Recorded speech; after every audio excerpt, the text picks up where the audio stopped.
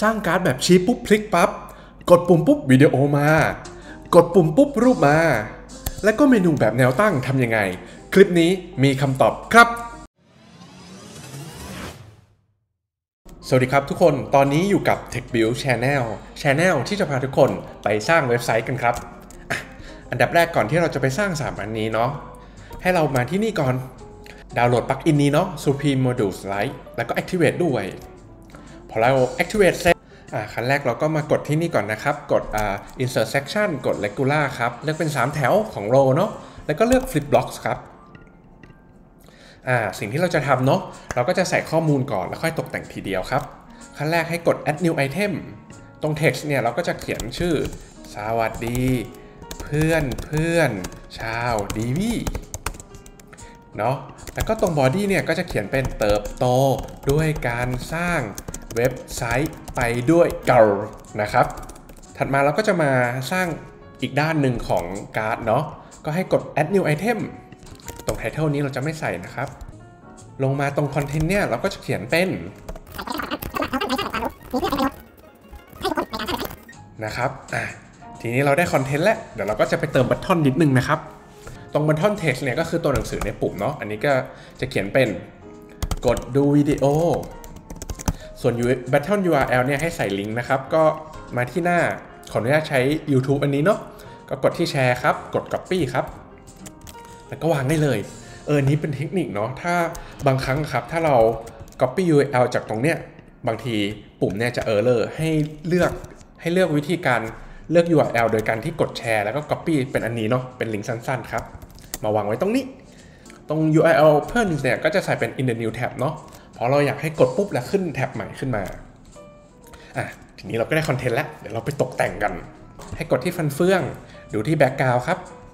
ครั้งนี้เราใช้เป็นอันที่ 2 เป็น background gradient เนาะคลิกที่ 1 เลือกสีน้ำเงิน ส่วนตรงนี้เลือกเป็นสีฟ้านะครับ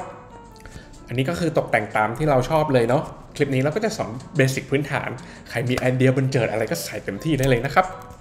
ถัดมาเลือกดีไซน์ครับกด Title Text เลือก Text ให้อยู่ตรงกลางนะครับ สีเป็นสีขาวจะได้เห็นชัดๆ และไซส์เนี่ยก็จะใช้เป็น 26px ลงมาครับตรง body text ครับอ่าก็จะเลือกเป็นสีนี้อ่าส่วน body text size หรือขนาดของ text เนี่ยก็จะเป็น 18px แล้วก็ให้อยู่ตรงกลางครับ ถัดมาเราได้หน้าหนึ่งแล้ว เดี๋ยวเราไปตกแต่งอีกหน้าหนึ่งกันดีกว่าอ่า กดตรงนี้ครับ แล้วกดฟันเฟืองตรงอันที่ 2 นะครับ แล้วก็ไปที่ดีไซน์ตรง body text เนี่ยนะครับ เราจะเปลี่ยนสีกัน เป็นสีน้ำเงินครับ แล้วก็กดให้ตัวหนังสือมาอยู่ตรงกลางนะครับ โอเค ถัดมาเราก็จะมาตกแต่งตัวบัตทอนของเรากัน เลื่อนลงมาบัตทอน ตรงบัตทอนอะไรไม่นะให้อยู่ตรงกลางเนาะ แล้วก็ use custom style for button เนี่ย จาก no กดเป็น yes ครับ text size เนี่ยครับผมมีเทคนิค ส่วนใหญ่ผมจะทำให้บัตทอนเนี่ยขนาดใกล้เคียงกับ text ของเรา text ตรงนี้เนาะก็อันนี้เล็งไว้ประมาณ 10px ครับอ่าถัดมาเราก็จะมาตกแต่งสีกัน ขั้นแรกเราก็ไปปรับที่ button text color นะ ก็คือตัวหนังสือในปุ่มเนาะครับ อันนี้ผมจะเลือกเป็นสีขาวครับ background color เป็นสีน้ำเงิน นี่ครับ ถัดมาครับอ่าเราจะมาดูตรงนี้ แล้วก็กดตรงคำว่า hover เนาะ ทางขวานิดนึง แล้วก็ปรับเป็นสีแดงครับ ตรงนี้คืออะไรก็คือเมื่อการที่เอาเมาส์ไปชี้ที่ปุ่มเนี่ยจากสีน้ำเงินก็จะเปลี่ยนเป็นสีแดงนะครับ ถัดมาลงมาข้างล่างครับ ตรง border radius เนี่ยคือการแก้ความมุมของขอบขอบของปุ่มเราก็จะทำเป็น 10px ครับ จะได้เพิ่มความดู friendly มากขึ้น และแล้วเราก็ได้แล้วครับ Supreme Flip Box ไม่ยากเลยใช่ไหมครับ ถัดมาเราก็จะมาสร้าง Supreme Button กันเนาะพิมพ์คำว่า Button ครับแต่เราจะไม่เลือก Button นะเราจะเลือก Supreme Button อันแรกครับเราก็จะสร้างปุ่ม คลิกปุ๊บเพื่อดูวิดีโอเนาะเราก็จะเขียนเป็นคลิกดูวิดีโอ ส่วนอีกปุ่มหนึ่งที่เราจะสร้างเนี่ยเราก็จะสร้างปุ่มดูภาพครับเราก็เขียนคลิกดูภาพอ่าถัดมาเราก็จะใส่ข้อมูลกันนะครับอ่าเราก็จะไปเลือก YouTube Link ก่อน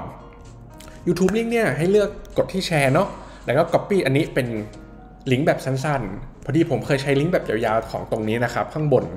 แล้วปรากฏว่าปุ่มใช้การไม่ได้ ก็เลยแนะนำว่าให้ใช้ตรงนี้กันนะครับ แล้วก็มาวางครับ ด้วยความที่เราจะเปิดคลิกปุ๊บเปิดมาเป็นวิดีโอนะ ให้กด Open as Video Lightbox ส่วนปุ่มถัดมาเนี่ยเราจะกดปุ๊บ แล้วก็เห็นเป็นภาพเนาะให้คลิกจาก no เป็น yes นะครับ ตรง open as image lightbox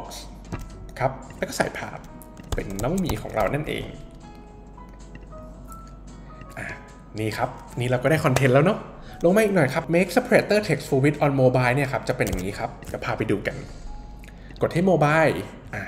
นี่ครับพอเรากด yes ปุ๊บเนี่ยจะเป็น button คำพูดแล้วค่อย button อีกอันหนึ่งนะครับ แต่ถ้ากด no เนี่ยอะมันจะเรียงกันเลยนะครับอันสุดท้ายคือ remove separator text on mobile เนี่ยก็คือพอเปลี่ยนเป็น mobile ปุ๊บกด yes ปุ๊บอ่าตรง text ที่เป็น separator เนี่ยก็จะหายไป อันนี้เราก็ในกรณีเนี้ยครับ เราก็ยังไม่เอาเนาะกลับมาที่ desktop ของเราดีกว่าอ่าพอเราได้ปุ่มแล้ว เดี๋ยวเราไปดีไซน์กันขั้นแรกคลิกที่ดีไซน์ครับ เลือก alignment อ่าอยากให้ปุ่มอยู่ตรงกลาง กดอยู่ตรงกลางครับอ่าเราลงมากดบรรทัดวันครับ จากโน้ตเนี่ยคลิกเป็น yes แล้วก็ text color เลือกเป็นสีขาวนะครับ ส่วน button one background เนี่ยเลือกเป็นสีน้ำเงิน แล้วก็กดตรงนี้กด hover นะครับเลือกเป็นสีแดงครับ เพื่อที่ว่าพอเราชี้ปุ๊บอ่าตรงปุ่มเนี่ยจะเปลี่ยนสีทันที กดมาที่ desktop นะครับลงมาตรง border width เนี่ยเราปรับเป็นศูนย์ครับเพราะเราไม่ต้องการอ่า เส้นตรงขอบของปุ่มเนาะอ่า button one border radius เนี่ยก็คือตรงมุมสี่มุมว่าเราอยากให้โค้งมนเท่าไหร่อ่ายิ่งเราใส่ตัวเลขสูงก็ยิ่งมนมาก กรณีนี้เราก็จะใส่เป็น 10 ps เนาะ สร้างให้รู้สึกพอดีพอดีรู้สึก user friendly ครับ ลงมาครับเราก็จะมาปรับอ่า button ที่ 2 ของเราครับ ลงมาเรื่อยๆ ตรง button 2เนาะ เช่นกันครับเหมือนกันเลย จาก no กดเป็น yes ครับ สี background เลือกเป็นสีน้ำเงิน ตรงลูกศรเนี่ยครับเราก็กดลูกศรอีกทีหนึ่งปรับเป็นสีแดงครับอ่าตรงนี้เทคยังเป็นสีน้ำเงินอยู่ แล้วก็ปรับเป็นสีขาวนะครับ ลงมาครับตรง border radius ก็คือความมนสีข้างนะครับ ปรับเป็น10 px เหมือนกันอะทีนี้เราก็จะได้แล้วครับ button ของเรา แล้วก็อันสุดท้ายครับเมนูแบบแนวตั้งอ่าให้กดที่บวกเนาะสีเทาๆนี้พิมพ์คำว่าเมนู แล้วก็เลือกสู่พิมพ์เมนูครับ เราอาจจะใส่ menu title กันได้นะสำหรับที่ใครอยากเขียน เช่นนี้เมนู ต่อไปเราก็มาตกแต่งกันให้ไปที่ดีไซน์ครับตรง title เนี่ยครับเราก็จะเราจะเห็นตรงบัตทอนแก p เนาะบัตทอนแก p เนี่ยคือช่องว่างระหว่าง title กับตัวเมนู ยกตัวอย่างเช่นอย่างนี้เนาะ20 px ก็จะห่างมากรณีนี้เราก็จะเลือกเป็นปกติเนาะ10 พิกเซลให้เทคอันเนี้ยมาอยู่ตรงกลางครับ แล้วก็ลงมาอีกหน่อยครับ text title เนี่ยหาเลือกไซส์เป็น 30 px ครับ ส่วนสีเลือกเป็นสีน้ำเงิน ลงมาครับโอเคเสร็จปุ๊บเราก็จะมาตกตกแต่งเมนูของเราครับ ตรงนี้เราก็จะเลือกเป็นสีน้ำเงินนะครับ ตรง list style type เนี่ยก็คือตรงนี้เนาะเห็นใช่ไหมครับว่าตรงเป็นตรงนี้จะเป็นกลมๆเนาะถ้าเป็น dix เนี่ยก็คือจะเป็นกลมๆแบบทึบเลย circle ก็เป็นวงกลมแล้วข้างในเป็นแบบพื้น background นะครับ ส่วน decimal เนี่ยก็จะเป็น 1 2 3 4 5 ส่วน square เนี่ยก็จะเป็นสี่เหลี่ยม อันนี้ลองเทสกันได้นะครับอ่านี้เราก็จะเลือกสีให้ตัว list style color ครับเลือกเป็นสีน้ำเงินเหมือนกัน ลงมาครับ ตรงซับเมนูเนี่ยเราก็จะปรับสีนะครับ เป็นสีน้ำเงินประมาณนี้ จะได้เห็นความแตกต่างนิดนึงอืมเป็นไงครับ ไม่ยากเลยใช่ไหมครับ ซูมพีเมนูแบบแนวตั้งของเรา นี่เราก็ทำได้ทั้ง 3 อย่างกันแล้วนะ ไม่ว่าจะเป็นการ์ดชี้ปุ๊บพลิกปั๊บ ปุ่มกดแล้วโชว์ และก็เมนูแนวตั้งนะครับ ถ้าใครชอบคลิปนี้ฝากกดไลค์หรือกด subscribe ด้วยนะครับ ช่วงนี้อากาศเปลี่ยนปล่อยก็ดูแลสุขภาพกันด้วย ส่วนคลิปนี้ก็มีเท่านี้นะครับ ไว้พบกันใหม่คลิปหน้า สวัสดีครับ